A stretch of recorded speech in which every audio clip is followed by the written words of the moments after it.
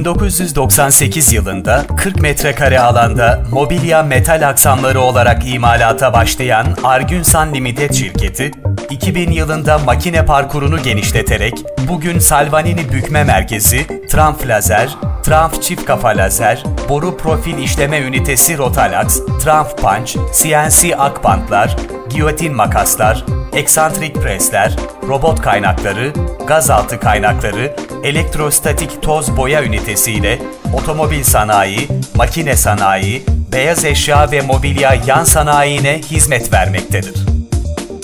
7000 metrekare kapalı, 3000 metrekare açık alanda uzman ekip ve elemanlarıyla faaliyetlerini sürdüren şirketimiz, son teknoloji ürünü makinelerle hızlı, esnek üretim yaparak bugün sektörde iddialı bir yer edinmiştir.